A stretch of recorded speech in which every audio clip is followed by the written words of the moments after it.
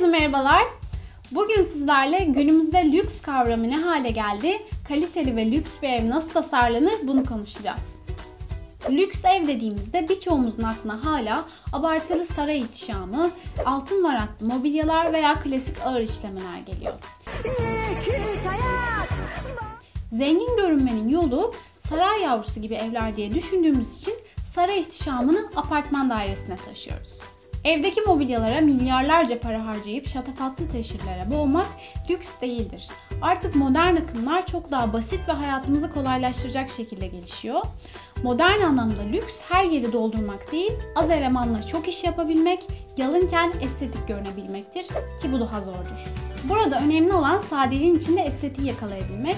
Yani mekana girdiğiniz zaman ilk dikkatinizi çeken şey nedir? Onu bulduğunuz zaman orayı ön plana çıkartın. Çünkü orası sizin odak noktanız olacak. Mesela salonda TV ünitesinin bulunduğu alan olabilir, yatak odasında yatak başının bulunduğu duvar olabilir veya evin herhangi bir yerinde öne çıkarmak istediğiniz bir mobilya veya iddialı bir avize de olabilir. Lüks sadece para demek değil, aynı zamanda hayat kalitesini de arttırabilmektir ve bunun için milyoner olmaya da gerek yok. Mesela düzen ve azaltma konusu önemli bir konu.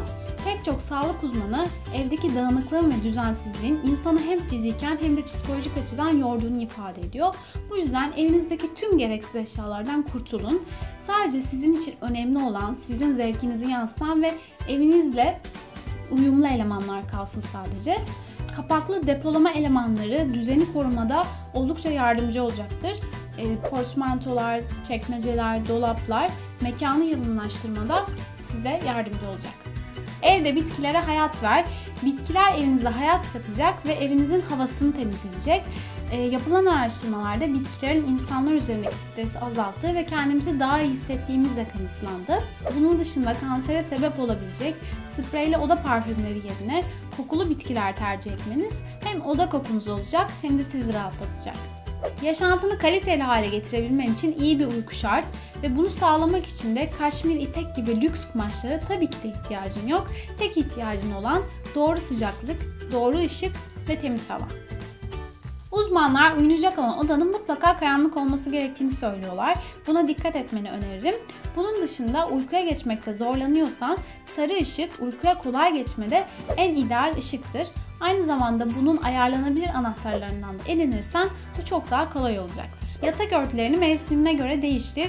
Kış için battaniye, peluş, el örgüsü, yastık gibi ek elemanlarla yatak odanı çok daha sıcak bir ambiyansa kavuşturabilirsin.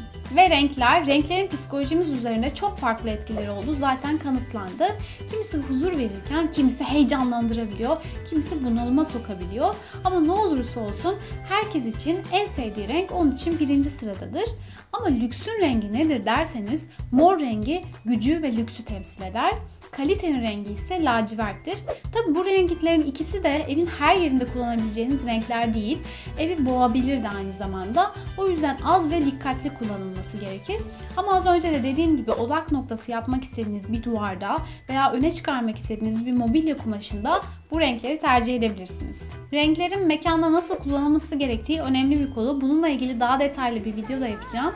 Umarım videomu beğenmiş ve faydalı bulmuşsunuzdur. Videomu beğendiyseniz lütfen beğenmeyi ve şuraya tıklayarak kanalıma abone olmayı unutmayın lütfen. Daha sonra görüşmek üzere. Hoşçakalın.